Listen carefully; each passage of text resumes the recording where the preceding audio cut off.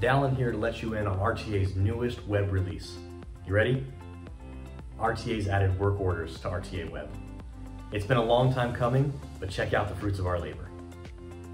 From the home screen in RTA Web, we've added work orders to our menu for all technicians and admin.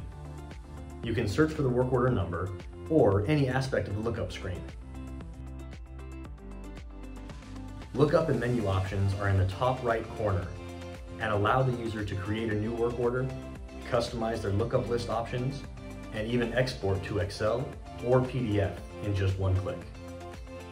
Let's look at a work order and see what info shows. The work order details screen is full of data. The vehicle's info at the top and the work order tabs show details on the work order, transactions, cost totals, notes, attachments, and check out that drag and drop, and audit details so you know who's done what. You can also see if a PM is due and add any PM lines or planned work to the work order on this screen.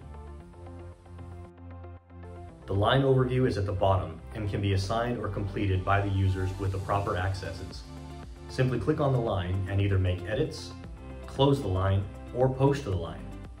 This is also where an admin would assign the text so it shows up in their paperless shop jobs. Within the work order line details, set the foundation of the job and schedule your techs. You can see details of the audit screen on this page as far as parts and labor postings and when they happened. With the proper rights to post to a work order line, the user can add parts, labor, miscellaneous, and warranty postings to their line. Beyond that, RTA Web tracks frequency and history of part and labor usage to make recommendations for which postings are most likely for this vehicle and job. Probability plays into effect based on historical postings.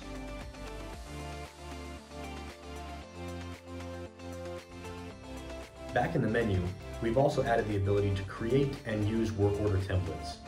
These templates carry over from existing desktop application templates, and you can also create new options directly on web. Provide a name, description and priority,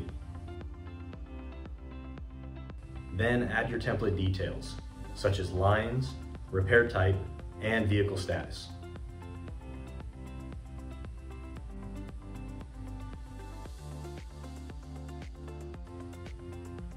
These work order features absolutely play into a paperless shop, but are not necessarily required if your shop is just not quite ready for that process.